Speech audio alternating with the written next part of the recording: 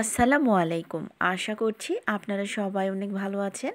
আজকে আমি আপনাদের সাথে শেয়ার করব নারকেল দিয়ে পাবদা মাছ রান্না। তো আমি পাবদা মাছগুলোকে ভালোভাবে করে ধুয়ে পরিষ্কার করে নিয়েছি। এখন আমি চুলায় প্যান বসিয়ে দিয়েছি আর তার মধ্যে দিয়ে দিব হাফ কাপ পরিমাণ পেঁয়াজ কুচি। এখন এর মধ্যে দিয়ে দিব সরিষার তেল। এখন পেঁয়াজটাকে আমি সরিষার তেলের সঙ্গে ভালোভাবে ভেজে নিব।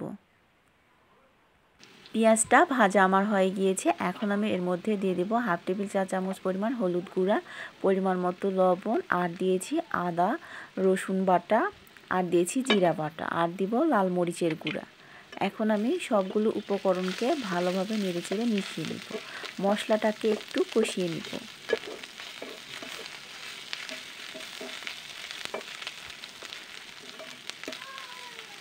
এখন আমি এর মধ্যে দিয়ে দিব সামান্য পরিমাণ পানি। মশলাটাকে আমি কষিয়ে নিব ভালো করে। তো আমার কষিয়ে নেওয়া হয়ে গিয়েছে। এখন আমি এর মধ্যে দিয়ে দিব হাফ কাপ পরিমাণ নারিকেল কোড়া।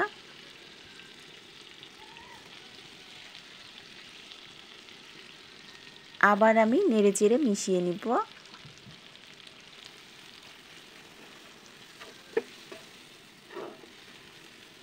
এখন আমি এর মধ্যে সামান্য পরিমাণ পানি দিয়ে নিব।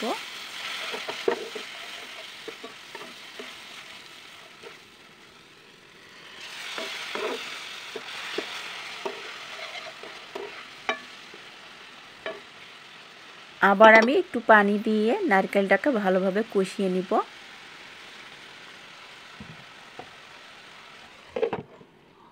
তো আমার কষিয়ে না হয়ে গিয়েছে। এখন আমি এর মধ্যে পাবদা মাছগুলোকে দিয়ে দিব।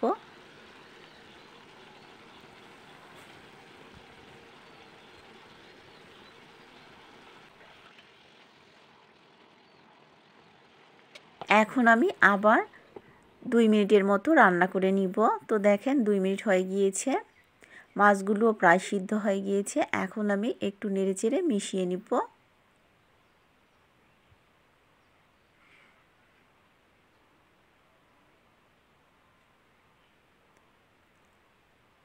আবার আমি দুই মিনিটের মতো রান্না করে নিব।